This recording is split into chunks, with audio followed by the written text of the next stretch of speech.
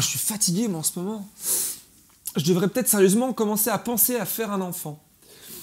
Et m'assurer euh, qu'il meure rapidement afin que je puisse m'acheter de la générosité à bon prix sur d'autres entreprises et avec m'offrir des vacances pépouses au bord de la piscine à siroter un morito.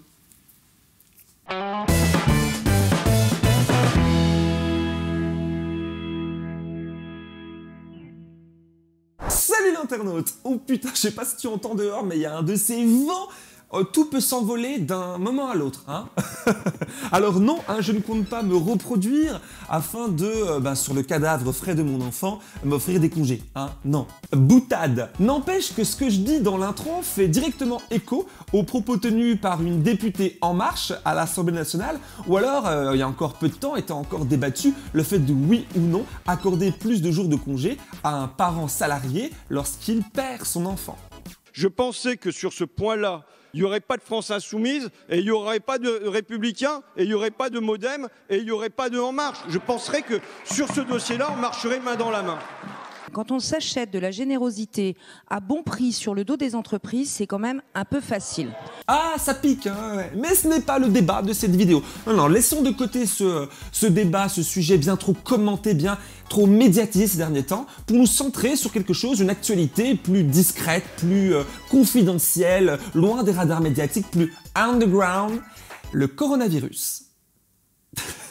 Alors non, là non plus, on va pas revenir sur euh, l'hystérie, l'orgie médiatique hein, qui dure depuis euh, bah, trop longtemps. Hein.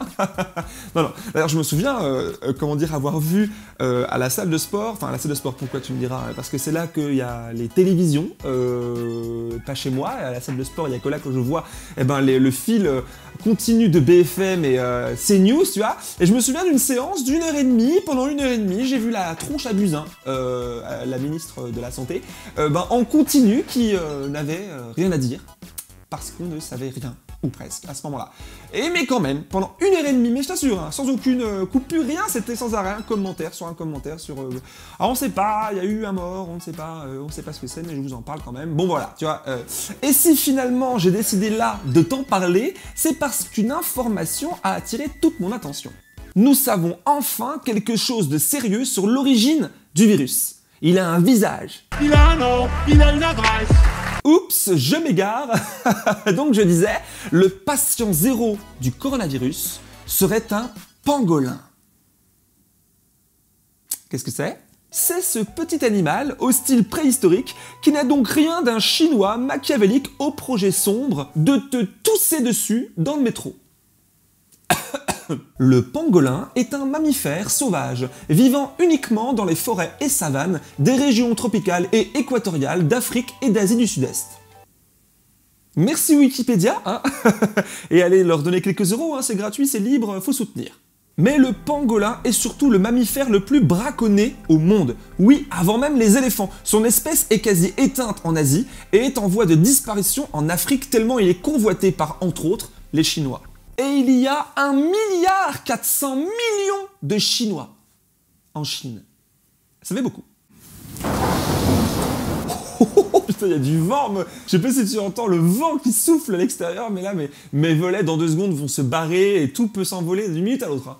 Donc bon, bah, si ça arrive, hein, merci pour tout, je vous aime beaucoup chinois, mais aussi vietnamien, qui raffole en plus de sa chair, de sa peau pour fabriquer des ceintures et des portefeuilles, de ses écailles pour euh, ses vertus soi-disant aphrodisiaques, mais aussi de son sang cru versé sur du riz.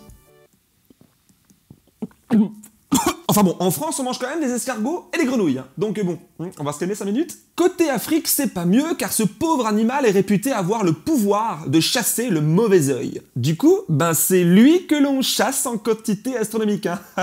Au Nigeria, récemment, les autorités ont mis la main sur 9,5 tonnes d'écailles, hein, ce qui représente des dizaines de milliers de pangolins assassinés. Et pour en revenir à la Chine et au coronavirus, il s'avère que l'on vient de découvrir que le pangolin est porteur du virus sans le subir, lui, hein, et que le génome de ce virus est identique à 99% à celui qui infecte les humains depuis fin décembre.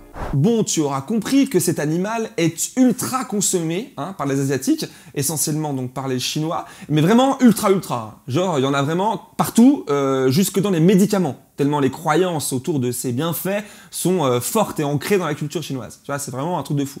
D'ailleurs, les autorités chinoises, le gouvernement, a entrepris depuis quelques années ben, des mesures bien trop faibles, des mesurettes, hein, pour enrayer sa consommation, son exportation, bref, son braconnage. Une ONG a même été jusqu'à tenter la sensibilisation du grand public, qui est lente mais qui progresse, en 2017 avec des clips vidéo utilisant l'image de Jackie Chan. Tandis que côté Afrique, des gens se mobilisent pour la protection de cet animal hors du commun, incapable de vivre en captivité. Comme ici au Zimbabwe, où chaque pangolin noue des liens étroits, bah ouais, c'est un mammifère, c'est un animal, il a des sentiments, avec un unique gardien qui prend soin de lui et lui apprend à se nourrir de fourmis et de termites. Malheureusement, malgré tout ça, eh ben, rien n'y fait. Le commerce et donc le braconnage hein, des animaux sauvages, notamment du pangolin, ben, continue à exploser euh, en Afrique et en Chine. D'ailleurs, sur les marchés de la ville de Wuhan, hein, la première ville, tu sais, qui compte, je crois, 10-15 millions d'habitants, la ville où s'est déclaré le virus ben, fin décembre dernier, eh ben, sur les marchés de cette ville, on trouve tout un tas euh, d'animaux sauvages, des serpents, des euh, requins, des crocodiles et aussi ben, des pangolins. Donc voilà les éléments pour comprendre le contexte finalement complexe de la chose. Hein. Et dans tout ça, depuis 2-3 jours, on commence à entendre et à lire que l'on aurait peut-être trouvé eh bien, le responsable de cette euh, épidémie coronavirus qui a à l'heure actuelle tué plus d'un millier de personnes et contaminé encore bien plus de monde. Par ailleurs, hein, je le rappelle, c'est le bon moment, hein, juste pour se calmer un peu, la seule grippe saisonnière tue 650 000 personnes dans le monde chaque année, bordel. Alors calmons-nous pour l'instant. Hein. Bref, on commence alors à voir chez le pangolin le patient zéro idéal du coronavirus. Et c'est sur cette lecture, hein, là, du responsable de cette maladie, que je suis en total désaccord. Non, ce n'est pas le pangolin le responsable de tout ça, mais l'homme, l'humain, et plus largement, hein, l'humanité dans sa dimension systémique. C'est donc nous, humanité, Hein, qui en décidant, et, le mot décider euh, est, sans doute très fort, hein, puisque bah, on décide pas, on décrète pas d'une tradition, d'une croyance comme ça d'un jour à l'autre, et puis on la déconstruit pas en deux secondes, évidemment. Mais bon, prenons ce mot quand même, en décidant de manger ou de continuer à manger des animaux sauvages, des animaux tout court, jusqu'à leur braconnage, leur exploitation industrielle, eh bien nous nous exposons nous-mêmes aux maladies que nous provoquons. Car, et c'est intéressant, il semblerait que le pangolin ait développé le virus dans son organisme suite à un braconnage intensif et à des tentatives de captivité, d'exploitation en captivité, hein, comme pour se défendre de son agresseur. C'est une réflexion hein, que j'avais envie de développer dans cette vidéo en retournant hein, la lecture dominante des choses qu'on nous sert à longueur de temps dès qu'il nous arrive une tuile à nous, espèce humaine. Jamais de notre faute, c'est le hasard, oh mon dieu, on a fait... Voilà, on n'a rien fait, la nature s'abat sur nous sans raison. Et alors la marmotte, elle met le chocolat dans le papier d'alu. Mais bien sûr.